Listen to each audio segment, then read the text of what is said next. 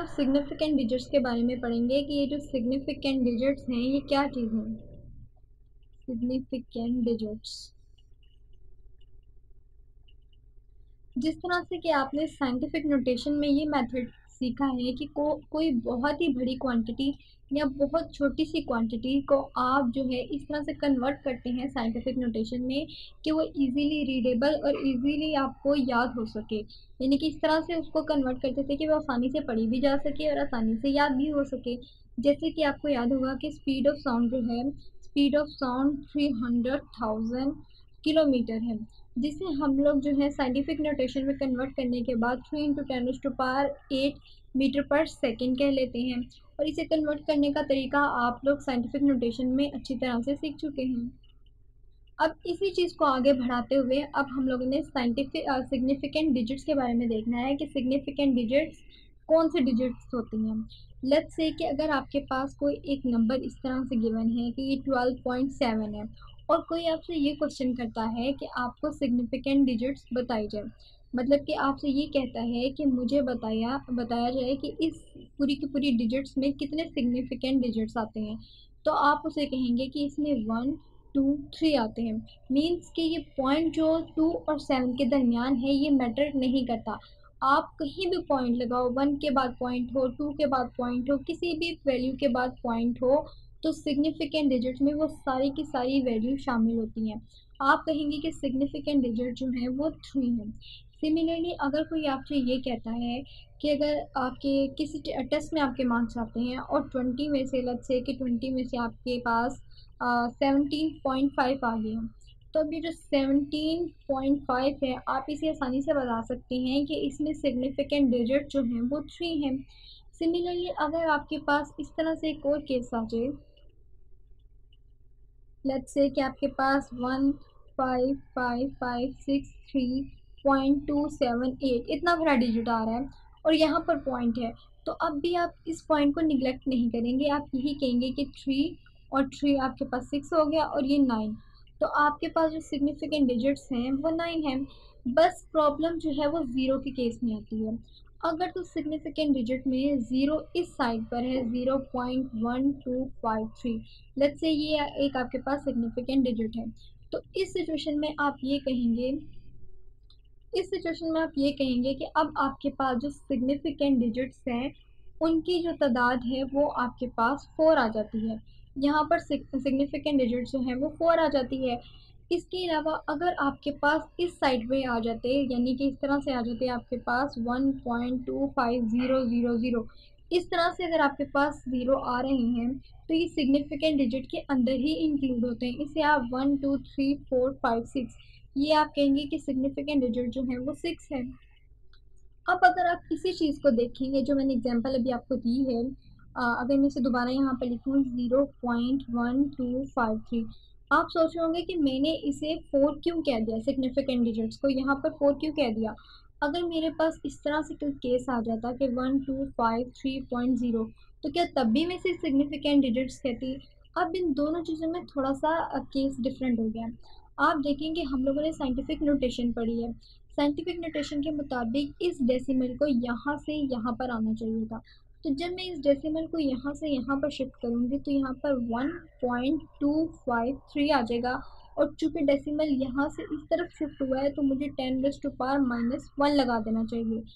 Significant digits ये वाली significant digit जो है, ये तो फोर ही देंगे, क्योंकि अभी हमने ऊपर देखा है कि पॉइंट कहीं भी हो, यहाँ पर हो या दरमियान में हो टू टू डिजिट के बाद हो थ्री के बाद हो फोर के बाद हो, कितनी भी डिजिट के बाद हो पॉइंट से पहले और पॉइंट से बाद वाली जो सारी की सारी डिजिट्स होती हैं, वो सिग्निफिकेंट डिजिट्स में ही आ जाती हैं।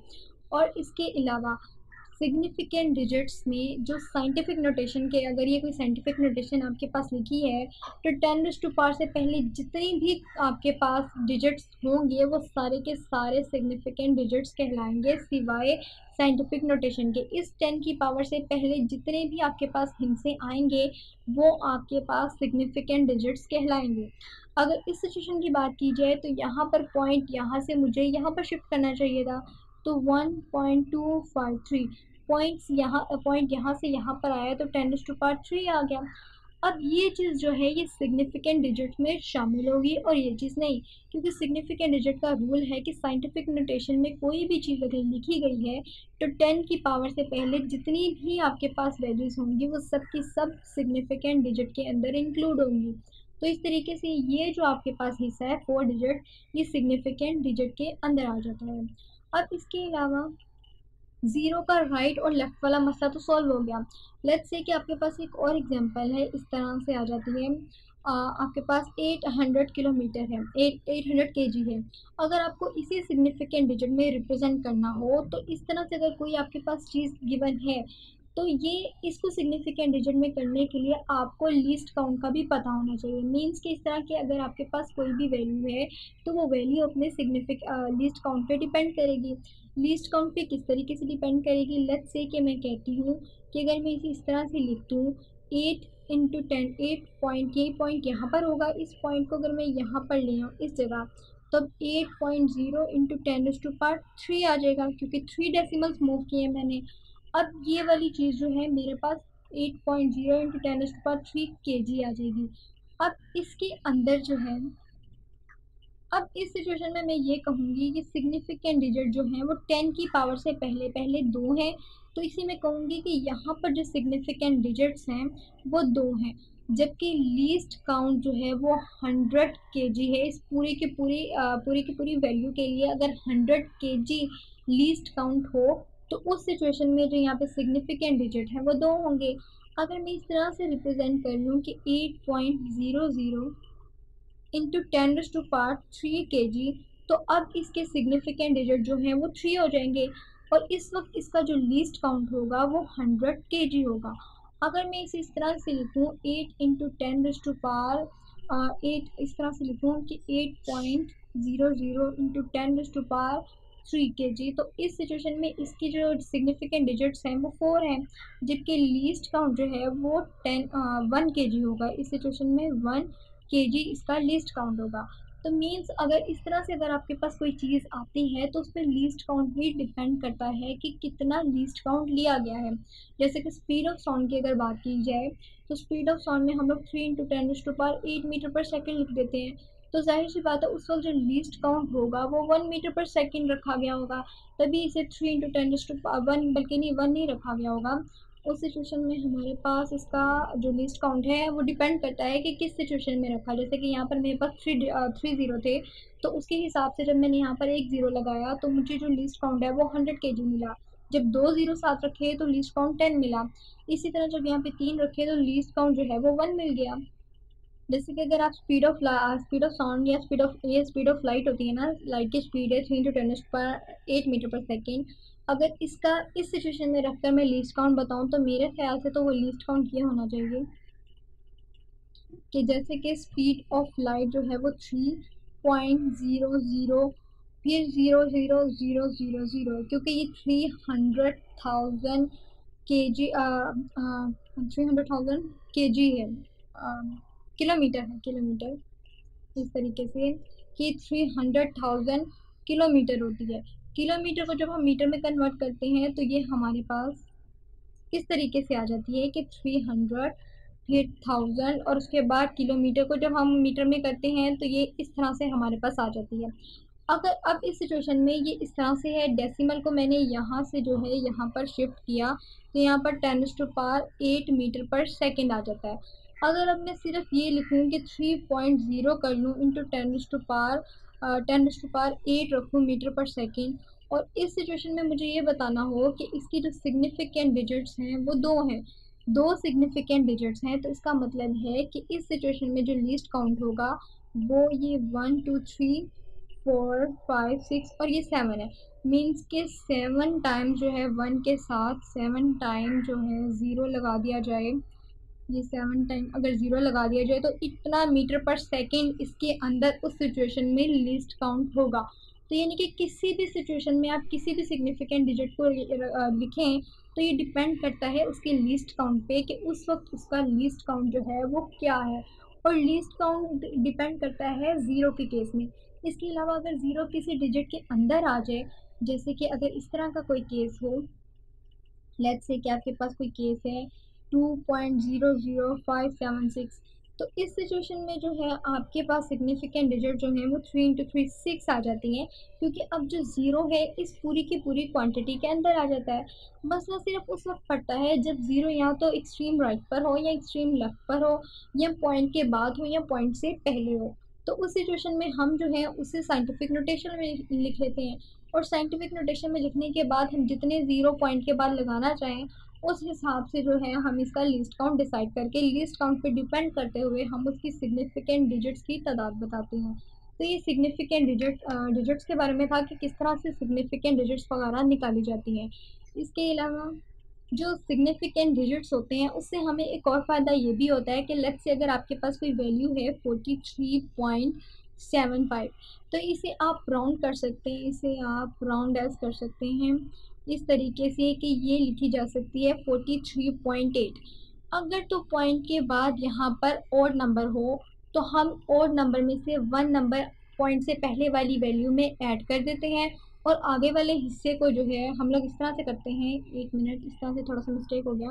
इसे हम इस तरह से करते हैं कि जैसे कि फोर्टी थ्री है ना फोर्टी थ्री के बाद पॉइंट सेवन सिक्स इस तरह से वैल्यूज़ आती चली जा रही हैं। और आप इस पूरी वैल्यू को नहीं लिखना चाह रहे तो आप क्या करेंगे कि पॉइंट के बाद सिर्फ़ एक वैल्यू लेंगे और उस वैल्यू से आगे वाली वैल्यू को देखेंगे। जैसे कि यहाँ पर फाइव है।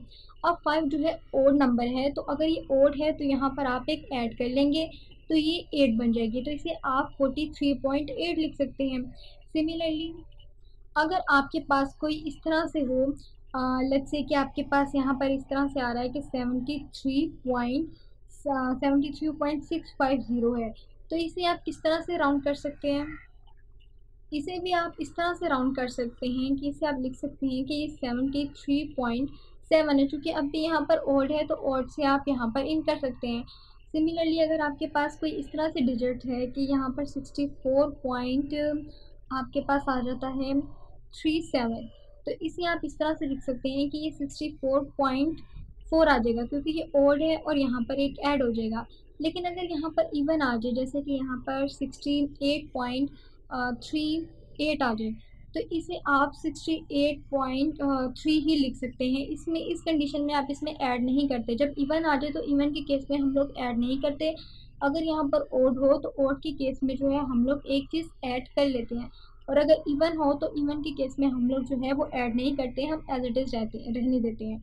और ऐड भी उस सिचुएशन में करते हैं जब यहाँ पर फाइव हो। मीन्स ये फाइव या फाइव से कोई बड़ी डिजिट आ जाती। अगर ये पॉइंट के बाद किसी वैल्यू को, यानी कि पॉइंट के बाद आप सिर्फ़ सेवन तक रहना चाहते थे तो सेवन से आगे आपको तीन चीज़ें देखनी पड़ेंगी। एक तो ये कि जो वैल्यू आगे लिखी है, वो फाइव या ग्रेटर देन फाइव हो। दूसरी चीज़ ये कि वो अगर तो ओड है तो ओड होने की सिचुएशन में आपके पास यहाँ पर एक चीज़ ऐड हो जाएगी। यानी कि अगर ये सेवन है तो ये एट हो जाएगा। लेकिन अगर यहाँ पर फाइव की जगह सिक्स होता तो यहाँ पर एडिशन नहीं होनी थी। सेवन ही रहना था, उसके बाद आगे एलिमिनेट कर सकते थे।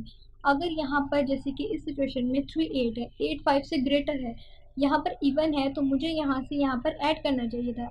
लेकिन अब जो एट है वो इवन है तो मैं इवन की वजह से थ्री में ऐड नहीं कर पा रही। लेकिन अगर यहाँ पर नाइन होता तो नाइन भी ग्रेटर देन फाइव है।